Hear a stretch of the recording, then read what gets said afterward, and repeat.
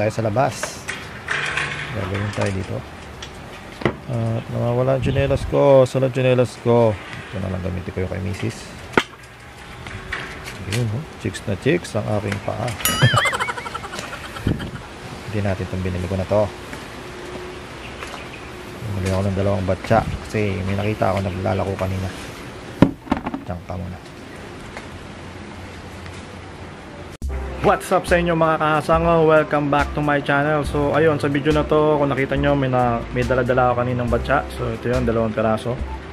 May dumaan kasi kaninang nagtitinda ng batsa. So ayun, naisip ko na bumili ng dalawa. Kasi kailangan ko naman din yun. Tapos ayun, medyo maganda yung size na nakuha ko kasi. Saka mura lang siya, 150 lang. Wala akong dalawa. So ano nga bang gagawin natin sa dalawang batsa na yan, no? Kung maalala nyo, meron akong kinuwang water lily So, yung water lily na yon Ayan, zoom natin ah. Ayan. Bala kong ilipat yan. Kasi, nalanta na yan tapos tumubo. Mas marami yung tumubo. So, yun. Plano ko ngayon iripat yan. Hahati natin sa dalawa o sa tatlo. Hindi natin alam. Tapos, ayun. Susubukan ko lang to guys ha. Kasi first time ko lang magre-repat ng water lily. Actually, newbie talaga ako pagdating sa water lily. So, ayun, hindi naman to video tutorial dahil hindi ko naman ituturo sa inyo kung paano gawin yan. So, ayun, papakita ko lang sa inyo kung paano ko gagawin. Tapos, ayun, uh, i-update ko na lang kayo kung ano mangyari, kung mapaparami natin yung water lily na yan o kung ano mang mangyari dyan. So, ayun guys.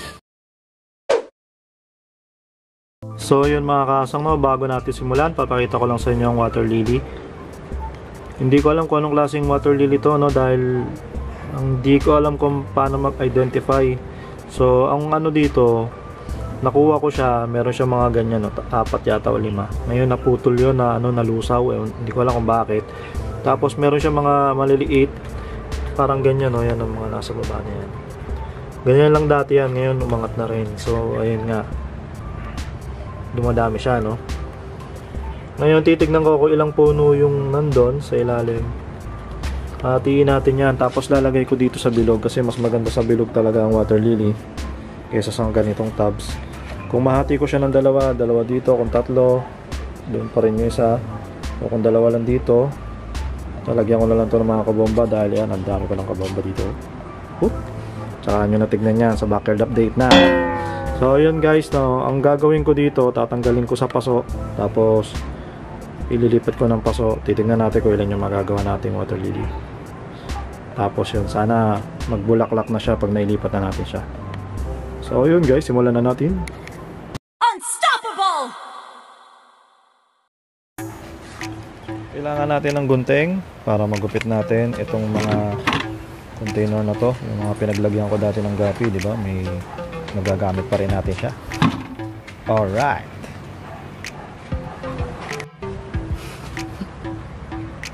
Kailangan lang natin muna kunin to. Ay, bigat niya. Grabe. Bigat. Ang hirap talaga maging ganito. Ay, ay, ay, ay. Nahulog na naman. Kailangan ko ng cameraman talaga pag mga ganito. Grabe, ang bigat. Sana hindi nasira.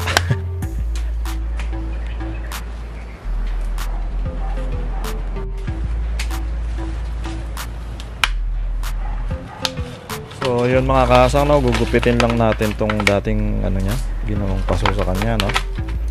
Ano ba yan? Tumalsik pa. Kanina ka pa, ha. Kala, gugupitin pa natin uli. Bali, yung ibang nakaganto, nung napanood ko sa mga YouTube din, naka-tuber daw siya, yung parang may tubo siyang kinakabitan na hindi ko alam kung ano yun. Pero ito hindi natin alam kung ano yung tsura nito, no. Dito muna dito yun. Ah, Sumama naman. Ayun, Diyos mio Marimar.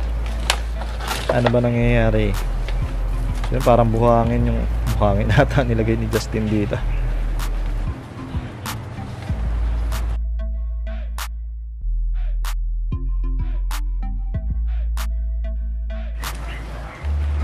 At ayun na nga mga kasang no, isang buto. Meron tayong nakita pinakabuto. Tapos humiwalay na siya ng kusa yung mga halaman.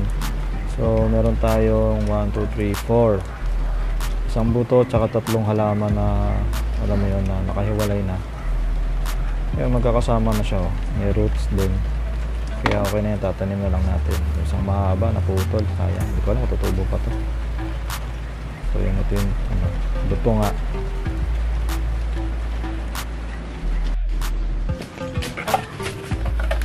Ngayon mga kasang, ang kailangan lupa dito, yung hindi masyadong mabuhangin, alam mo yon yung medyo pino siya. So garden soil, pwede na yan. Itong soil namin dito dahil nasa garden, garden soil na yan. So kuha lang ako dito, no. Pwede naman to. Ito rin yung ginamit ko sa kabomba eh. So maganda-ganda kasi yung lupa namin dito, medyo pino siya. Lagyan lang natin to.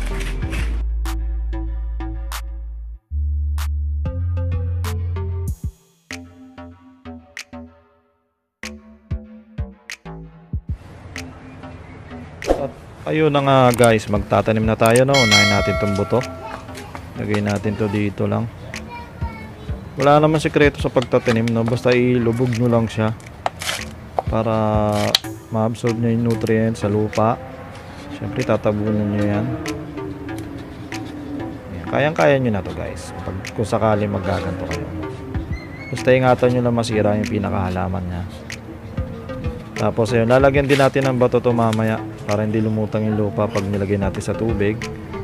So ito yung pinaka isang plant. Ito yung malalaki. Ayan, may mga ugat na rin siya. oh. So yun, bubutas lang kayo ng konti dyan. Medyo mahirap ah. Tapos ibabaon nyo lang yung roots. Pero wag nyo ibabaon yung mga plants, yung mga tumutubong bago para hindi mamatay. Sabi sa akin ng napanood ko. So yan, unti-unti lang. Siguraduhin yung kumapit yung roots niya doon sa lupa para pag nilagay ng tubig hindi siya makakalas. Tapos pag tumubo naman yun, kakapit na ng kusa yan sa lupa eh.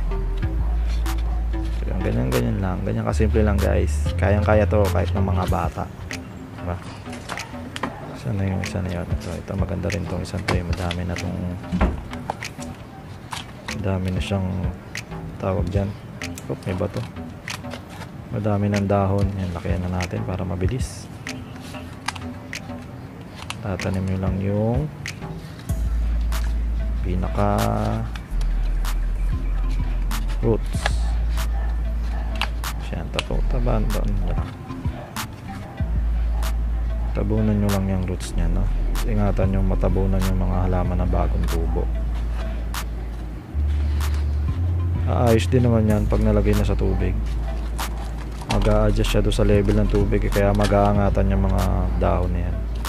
Tapos yun ine-expect ko na sana magkaroon ng bulaklak kasi ang bulaklak talaga iba-iba kulay nun eh depende doon sa tanim sa klase ng water lily. Ngayon ang sabi sa akin ni Justin itong ano raw lagay ko kaya dito eh wag. Ko na ilalagay sa isa. Dito na lang to isa na to. So yun nga guys no yung sabi sa akin ni Justin kulay white daw yung bulaklak nito no. So ayun sana mapatubo natin at mapabulaklak natin dahil yun talaga ang gusto ko mangyari dito na magkaroon siya ng bulaklak. Tanim na natin to dito. Tama na yan apat. Madali rin paramihin daw to so pwede nyo rin ibenta kung sakali makapagparami kayo ng mga ganitong klaseng water lily. Parang 500 yata to o mga ganun din ang presyo nito eh, sa isang ano isang pot. So, yun, may, may income pa rin, di ba? So, try natin soon kung maparami ko to at makapagbenta tayo.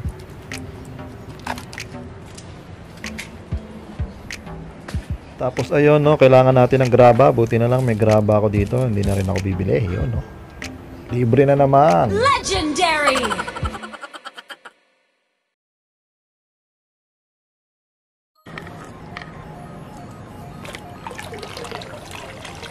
Yun na nga mga kasang. Lagyan na natin ng tubig. Unti-unti lang lagyan natin ng tubig. No? Punuin na natin itong batya. Yan. Nilagyan ko siya ng ano, nilagyan ko siya ng mga graba do sa ibabaw para hindi ma-wash out yung mga lupa pag nalagay ng tubig. I-update ko rin kayo dito sa aking mga mollies dahil kanina pa sila nagpapapansin sa akin, no? Ayun na, nag-schooling sila, oh. Ang dami nila dito, guys.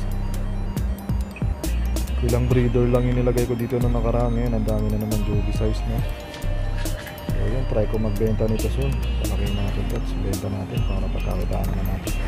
Tapos dito sa aking rep top, marami rin yan. Ang daming jubi, mga tube na, yung mga, size. So yun, siguro ilalagay ko na sa harap yung mga jubi para yun nga yung ibibenta ko. Pag lumaki na ng konti. Para maka, magkaroon ng room yung breeder na magparami ulit dito. Dami na kasi oh.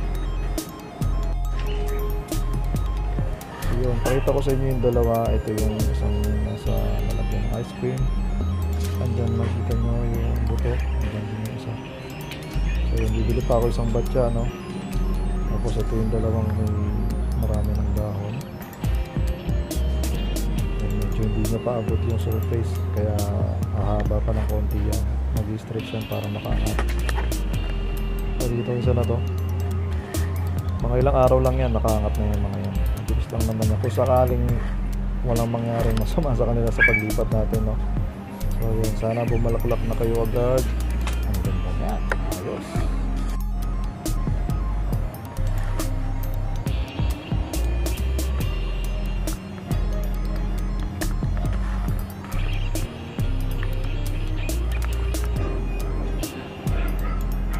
So ayun mga kasang no, medyo nakakapagod no.